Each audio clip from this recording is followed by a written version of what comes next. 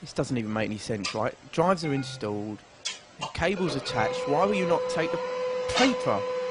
Take it. It's there in a tray. There. Take the.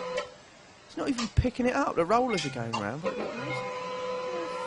Pick up the freaking paper. Print shit. Got to go out. This is ridiculous.